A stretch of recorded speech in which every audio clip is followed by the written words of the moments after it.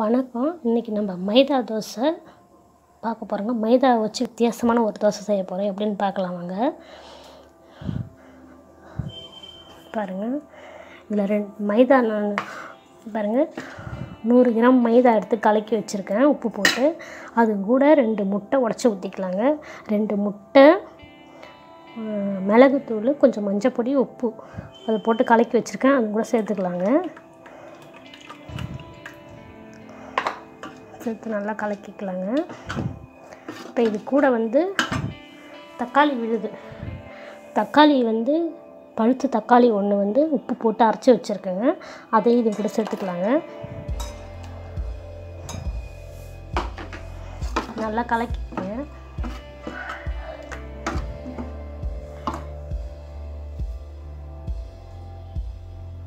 இது கூட கொஞ்சம் மல்லி இலை சேர்த்துக்கோங்க. காரத்துக்கு கொஞ்சம் பச்சை மிளகாய் இது சே தனி மிளகாத்தூள் கொஞ்சம் சேர்த்துக்கிறேங்க. ஒரு கால் டீஸ்பூன் தனி மிளகாத்தூளுங்க. அவ்வளோதாங்க அது நல்லா கலந்துக்கலாம் கலந்துக்கலாங்க. கலந்து இந்த தோசையை ஊற்றி எடுத்துக்கலாங்க. கல் காய வச்சுருக்கேன்.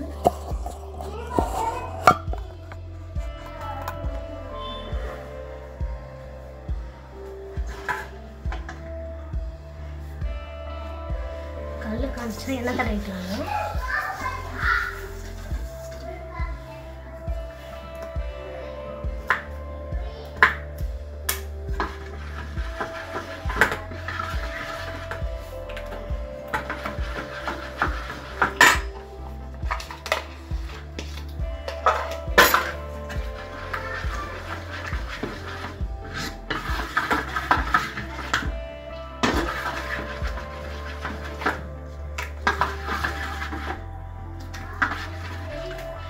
கல் காய்ஞ்சிச்சு ஊற்றிக்கலாம் இப்போ தோசை.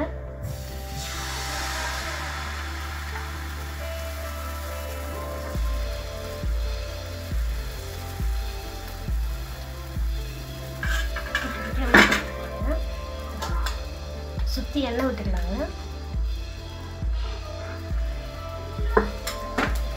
நல்லா இருக்குங்க இது வித்தியாசமாக மைதா. மைதா ஒரு நூறு கிராம் மைதா எடுத்திருக்கேன். அதை உப்பு போட்டு கரைச்சி அதுக்கப்புறம் ரெண்டு முட்டை ரெண்டு முட்டையை அடித்து உப்பு மஞ்சத்தூள் மிளகுத்தூள் போட்டு அடித்து இதில் ஊற்றிருக்க மைதாவில். ஒரு தக்காளி பழம் பெருசாக அதை வந்து மிக்சியில் போட்டு அடித்து மாவு கூட கலந்துருக்கும் உப்பு போட்டு. அவ்வளோதாங்க மல்லி இலை போட்டு கொஞ்சம் தனி மிளகாத்தூள் போட்டு ஊற்றி எடுத்துடலாங்க. நல்லாயிருக்குங்க வித்தியாசமாக இது. குழந்தைங்களுக்கு ரொம்ப பிடிக்குங்க. இந்த வீடியோ உங்களுக்கு பிடிச்சிருந்தா லைக் பண்ணுங்கள் ஷேர் பண்ணுங்கள் கமெண்ட் பண்ணுங்கள் நம்ம சேனலுக்கு சப்ஸ்கிரைப் பண்ணாதவங்க சப்ஸ்கிரைப் பண்ணுங்கள் கூடவே பெல் பட்டனையும் ப்ரெஸ் பண்ணுங்கள் இது செஞ்சு பார்த்துட்டு உங்கள் கமெண்ட் எனக்கு சொல்லுங்கள்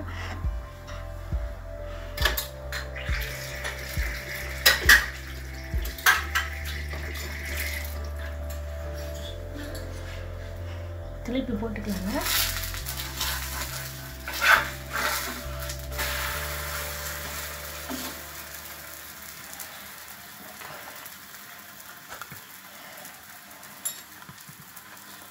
முட்டை போட்டு. முட்டை போட்டு செஞ்சுக்கிட்டு நல்லா இல்லை வருதுங்க. நல்லா இருக்குங்க. பாருங்கள் நல்லா வருது.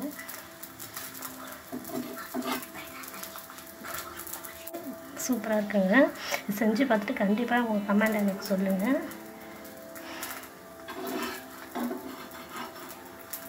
எல்லா தோசையும் இதே ஊற்றி எடுத்துக்கலாங்க.